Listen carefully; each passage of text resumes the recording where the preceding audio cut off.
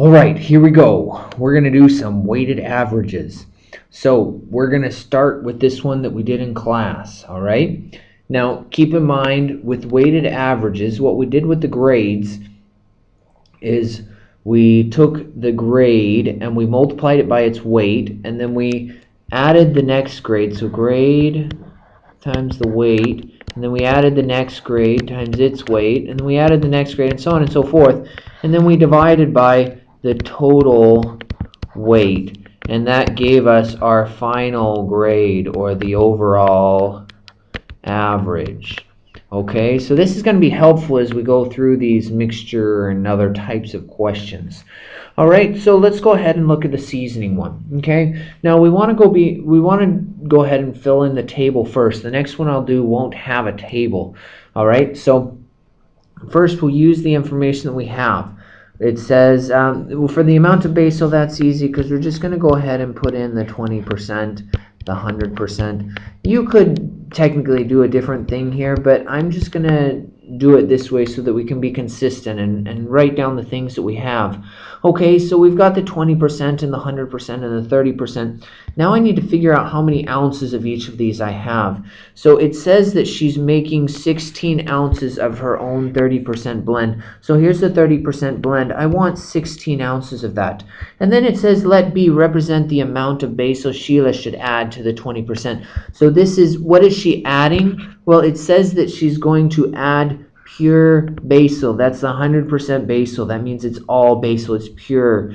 All right. So so we're going to say that that is B. B is the amount of pure basil Sheila's going to add.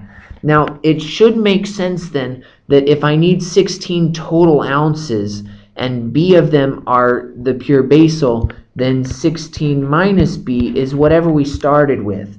Okay, she's mixing these two together, and that's an important idea that we need to recognize. Those two things are being mixed together, and this one is my final mixture. This is what I'm going to get in the end. All right, now both of these numbers, all of these numbers are going to be important. Now, as I go through, if you want these to be percents, you can leave them as a whole number percent, or if your math teacher taught you to write it as 0.20 because that's 20 over 100, that's fine too. But as long as you recognize that they're all percents and you're very consistent with that, then it should be okay to just leave them that way. All right?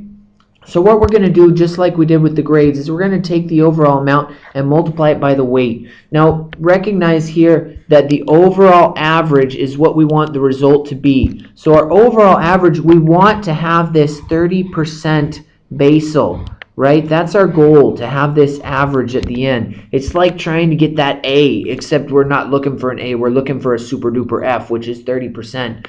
And so that's what we're looking for. We want to get that 30%. And so that 30% is going to be our overall average out here on the outside. And so if I just put that outside like this, okay, and then I need to do the, the grade or the amount times its weight. So that's going to be the grade, the 20 times its weight, which is 16 minus b. And then we're going to add, because that's what we're doing, the grade times the next weight. So the, the next piece of this is the 100 times the b, right? And then we have to divide by the total weight. Now, you have two numbers here. One of these represents, represents the overall average. That's what we want our mixture to come out as, right? We want it to come out as 30%. That's the average of this 102 uh, and 20 based off of the weights. But then we're going to go ahead and put it over 16 because that is our total weight. Now, there's actually another way to set these up. If you look in your book, and this is actually in your book, the worksheet corresponds to your book, section 9-4, it'll put this 16 over with the 30. And that's fine, but that's not really showing it as an average. The really dumb thing in the book is they say an average is the sum of these things added together, divided by the total weight, and then they don't even show the division when they work it. And so in order to understand it as an average, this is the way that we're going to write it for now. But you can move the 16 over, obviously. We can distribute the 20. Notice that I have two B's. Those B's need to get together. I hate having two B's.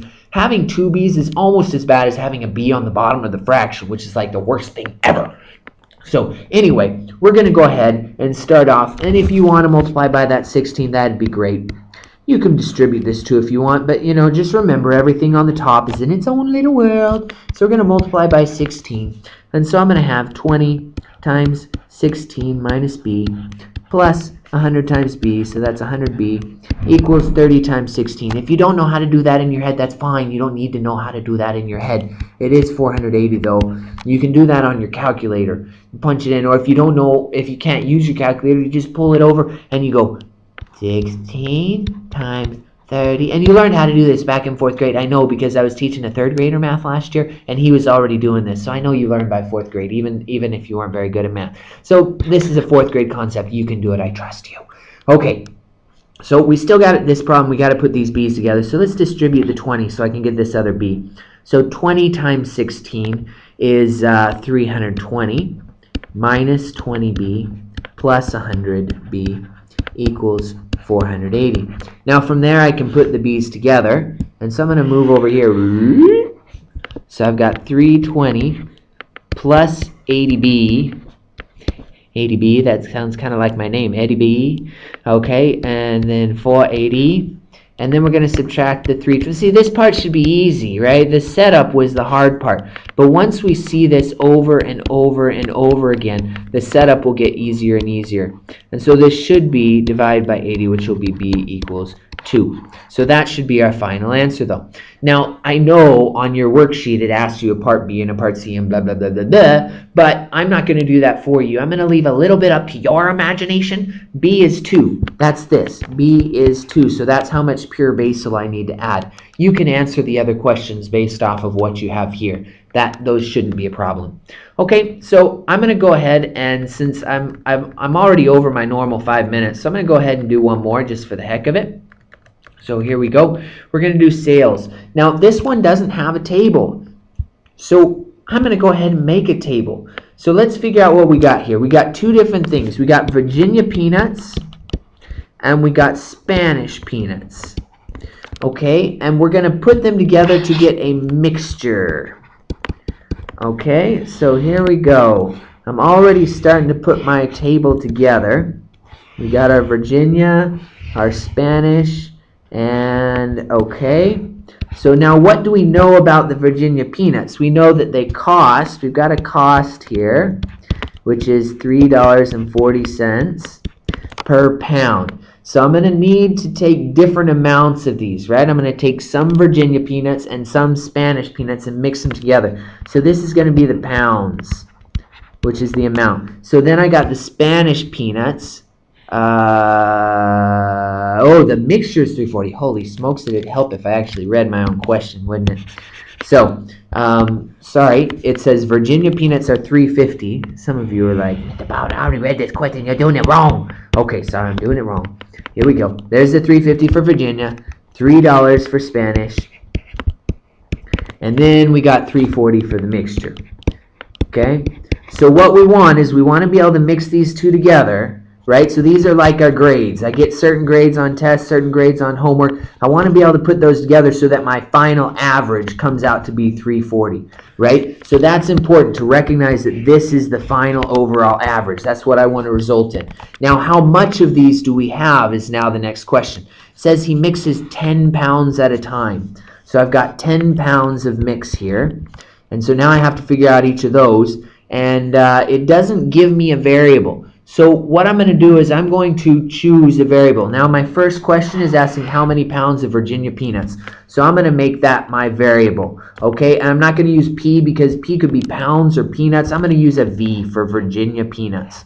Okay, now the temptation is to go, okay, then I got S for Spanish. But then you got two variables and you don't want two variables. Two variables make it a lot more difficult. So since there are 10 pounds total and V of them are Virginia, then you should be able to go 10 minus V, which tells you how many pounds are Spanish.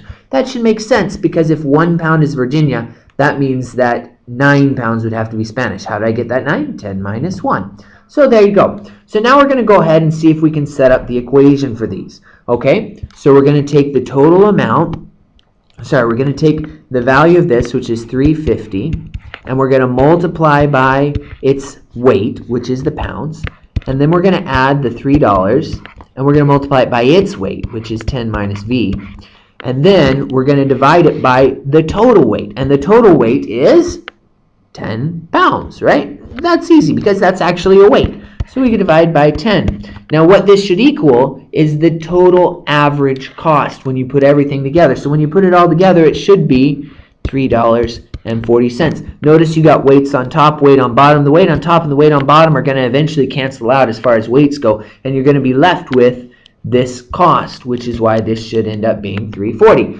So from here, you should be able to solve this equation. Okay, again, I'm going to go ahead and multiply by the 10 first, just because I want to get that off the bottom. I'm going to take the 0 off because we don't really need it. 3.5 is the same thing, so 3.5v. Now, in the interest of trying to keep things easy for you, I won't do two steps at once.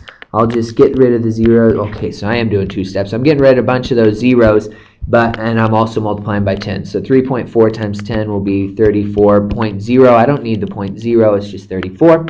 So at this point, I'm going to distribute the 3. So 3.5v. Don't freak out that there's a decimal there. Life is decimals, right? Life happens in fractions. It never, very rarely happens in whole numbers. So there we go. And um, um, um, um from there, we got two v's. So let's put the v's together. I got 3.5v and I got a minus 3v. They're on the same side, so I just put those like terms together. And then I got 0.5, point v. Yeah, good luck with that, Mr. Bywater. Oh, yeah, we can just this. I forget about that. Okay, so 0.5v plus 30 equals 34. We subtract 30 from both sides because, ooh, not 38. My zeros look nasty. Okay, 0.5v equals 34 minus 30, which is 4. Divide by 0.5, which is the same thing as dividing by 1 half. And if you divide by 1 half, you can also multiply by the reciprocal, which is 2. So that means that v equals 8. Now, that should make sense, right? Because the overall average cost is closer to the 350 than it is to the $3, which means there need to be more Virginia peanuts than Spanish peanuts. So of those 10 pounds, 8 of them are Virginia peanuts. Does that make sense? Which is why it's going to be close to that. If we go back up to what we were doing earlier, okay, see, the 30% is a lot closer to the 20 than the 100, right? Which means we need a lot more of this 20% than we need of the 100. And you notice here that only two of those 16 were basil, right? The pure basil. And so a lot more of it's going to be that basil blend. You can always check your answers by making sure that those things are close and related. All right, I'm going to go ahead and stop the video now so that you can watch the second one. All right, but this puts together the first two.